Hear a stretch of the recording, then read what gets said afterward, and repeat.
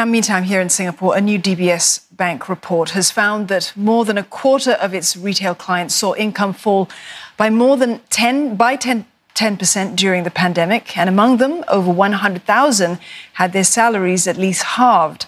DBS says that it could be a sign of a widening income gap due to COVID 19.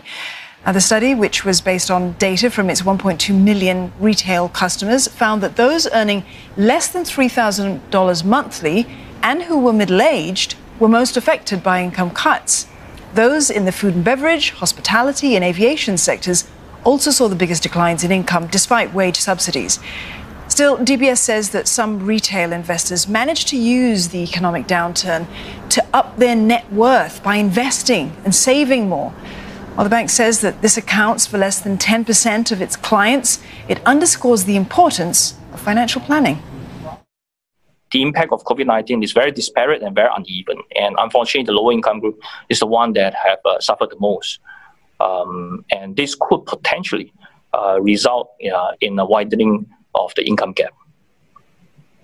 But it does not necessarily imply that the rich will get richer, because the, the group that um, we have uh, you know uh, analyzed is a very small group, and also um, you know they are able to leverage on the market opportunity not just simply because you know they are um, you know earning higher income, but because they are better prepared.